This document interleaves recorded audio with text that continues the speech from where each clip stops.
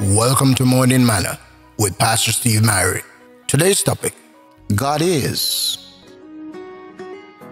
Whither shall I go from thy spirit? Or whither shall I flee from thy presence? If I ascend into the heaven, thou art there. If I make my bed in hell, behold, thou art there. If I take the wings of the morning and dwell in the uttermost parts of the sea, even there shall thy hand lead me, and thy right hand hold me. For thou hast possessed my reins, thou hast covered me in my mother's womb. Psalm 139, 7 through 13.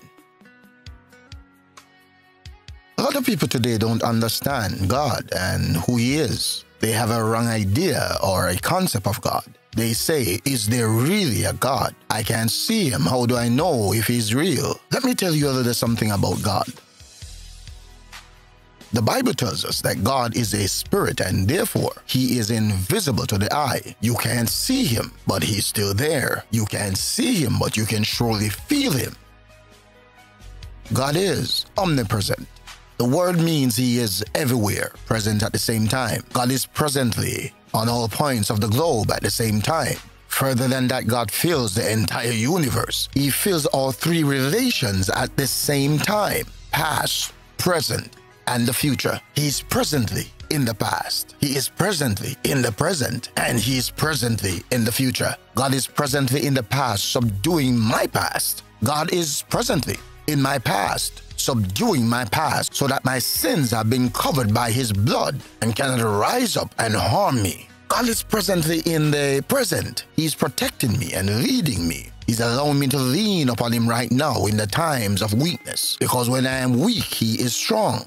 God is presently in the future. He is paving the way for me to walk. He is clearing up the obstacles out of my way that would hinder my progress in the Lord. That is why I can say many things about tomorrow I don't seem to understand. But I know who holds tomorrow, and I know who holds my hand.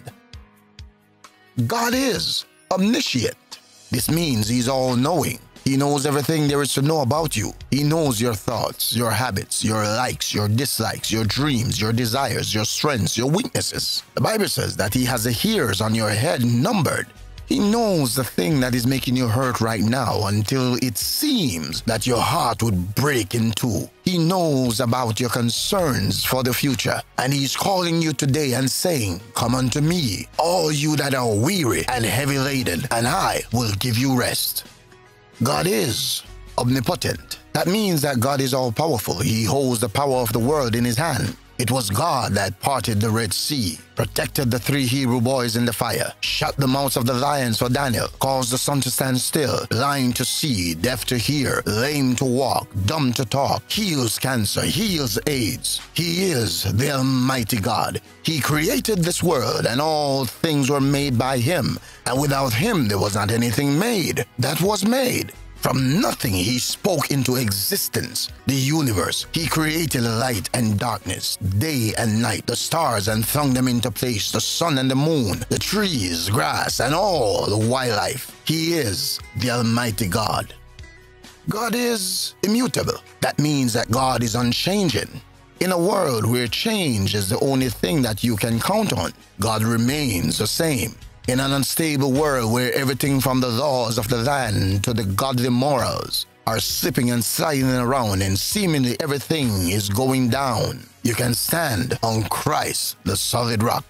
Today I want to encourage you that the God who is, He's willing to guide you. He's willing to protect you. He's willing to be there for you in your time of need. Imagine the God that created this whole universe and is sustaining life will be with you no, this is something that you can't pay for, but all he asks is that you believe that he is and that he's a rewarder of them that diligently seek him.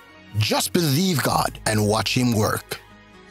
The thought of the day if God can keep a fish fresh in salt water, he can keep you.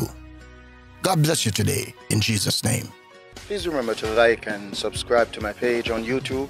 Your support is much appreciated. miracle promise keeper, light the darkness.